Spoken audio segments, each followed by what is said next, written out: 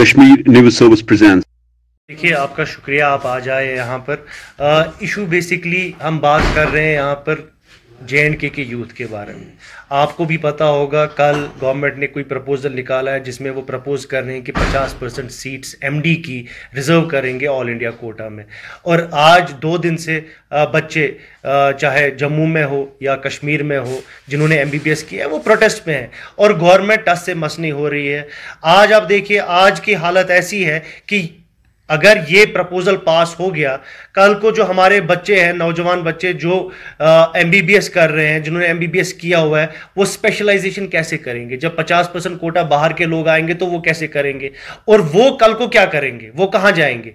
अब उनको, आप बोल रहे हैं उनको all India quota all India में वो कंपीट कर कर रहे हैं। और मुझे आप बस खुदारा एक बात बताइए, आपको ये पता होना चाहिए, तीस साल से कश्मीर एक कॉन्फ्लिक्ट के दौर से गुजर रहा है। और हमारा, हमारे बच्चे किन हालातों में पढ़ पढ़ रहे हैं वो हमको पता है। किस तरीके से उनने पढ़ा वो हमको पता है। दूसरा, ये नीट का एग्ज़ाम सीबीएसई सिलेबस पे हो रहा है, जबकि हमारे तकरीबन 80 से 90 परसेंट जो बच्चे हैं, वो स्टेट बोर्ड के सिलेबस पे उनने अभी तक अपना ट्वेल्थ पास किया है। तो ये तो सरासर नाइंसाफ़ी है उनके साथ, उन बच्चों के साथ नाइंसाफ़ी है। जो कल को compete करेंगे उन बच्चों के साथ, जिन्होंने सीबीएसई e में अपना बेसिक ट्वेल्थ एलेवेंथ पास किया हुआ है। तो हमारी यही जो है, एक गवर्नमेंट को ये समझना चाहिए। जब तक यहाँ पे अवामी हुकूमत ने उनको ये डिसीजंस नहीं लेने चाहिए। बिकॉज़ इन डिसीजंस के पीछे अवामी स्टैंप नहीं है। ये ब्यूरोक्रेटिक डिसीज़न है। और उनको ये भी समझना चाहिए कि जब यहाँ J and K reorganisation act जो है, वो अंडर जुडिशियल स्क्रूटनी है। ये सारे ऑर्डर्स जितने भी एलजी ऑफ़िस से निकलते हैं या एडमिनिस्ट्रेशन से निकलते हैं they all derive their strength from के रिओर्गनाइजेशन एक्ट तो जब के its parent act is under judicial scrutiny वो उनको वेट करना चाहिए सुप्रीम कोर्ट क्या डिसीज़न देगा as far as reorganisation act तब उनको जो है uh, बाकी सब चीज़ें करनी चाहिए। तो ये सरासर नाइंसाफी है बिल्कुल। आज बच्चे सड़क पे आ रहे हैं और आपका यही uh, जो बीजेपी ने तब बोला जब 2019 में उन्होंने आर्टिकल 370 और 35 से को हटाया तो उन्होंने बोला, हम नया कश्मीर यहाँ पे लाएँगे। तो नया कश्मीर उनके हिसाब से यह है कि यहाँ के जो इंडिजिनस जो लोकल यूथ है, चाहे हिंदू है, मुसलमान है या सिख है या ईसाई है, उनको आप जॉब एवेन्यूज और अपॉर्चुनिटीज़ से दूर कर रहे हैं। ये उसका एक सिलसिला, ये उसकी एक कड़ी है। तो ये सर, बहुत ही गलत हो रहा है, बहुत डेंजरस ट्रेंड है ये। अगर आप यहाँ के नौजवानों को इस तरीके से दूर करेंगे और इस तरीके से उनको साइडलाइन करेंगे तो कल को आप जो है, जिस बात की आप बात कर रहे हैं, जो प्राइम मिनिस्टर ने भी बोला, दिल की दूरी।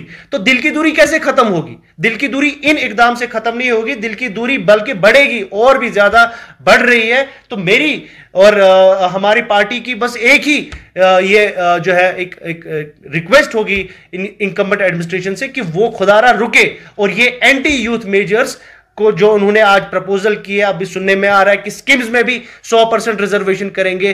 तो यहाँ के बच्चे कहाँ जाएँगे? वो तो सड़क पे आ जाएँगे बेचारे। उनको तो फिर सड़क पे बैठना है, भीख मांगना है। तो यही चाहते हैं आप, यहाँ जम्मू और कश्मीर के बच्चे सड़क पे आए। तो खुदारा, आप रुकिए और जो है आप यूथ को सेंटर बनाइए। न कि आपने पॉलिसी जो आप बाहर पूरे हिंदुस्तान में ढोल पीट रहे हैं, हमने जी वहाँ पे ये किया।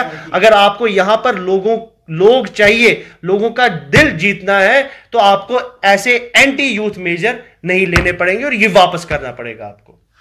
चाहे यहाँ पे आप मीडिया से हैं, आपने खुद रिपोर्ट किया है। हम तो इसी, ये तो आज सारे न्यूज़पेपर्स में आए, आज बच्चों ने, जिन्होंने एमबीबीएस किया है, वो दर बदर सड़कों पे इस टाइम पे बैठे हैं और वो ये डिमांड कर रहे हैं कि हमको जी, और पचास परसेंट ऑल इंडिया कोटा में न डाला जाए। तो ये सरासर गलत है।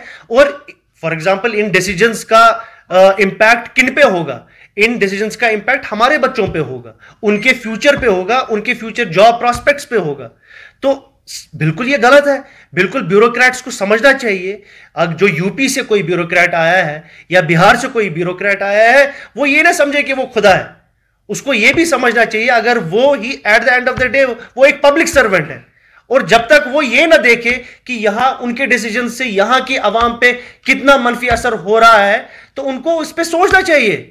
ये उनको अल्लाह ताला ने भी अकल दी है। उनको सोचना चाहिए कि उनको कैसे, वो कैसे इंश्योर करे कि जे एंड के के जो बच्चे हैं, जो पढ़े लिखे बच्चे हैं, जो आगे चलना चाहते हैं, जो मेन स्ट्रीम में जाना चाहते हैं उनकी प्रोग्रेस पे ऐसे कदगन न लगाया जाए। तो ये उनको सोचना है। हम as a premier political party हमने पहले भी बोला है, हम हमेशा लीगल तरीके में बात करेंगे, हम पीसफुल तरीके में बात करेंगे, और पीसफुली हम ये बोल रहे हैं कि ये काबिल कबूल नहीं है। ये डिसीज़न जो ब्यूरोक्रेटिक डिसीज़न लिए जा रहे हैं, ये काबिल कबूल नहीं है।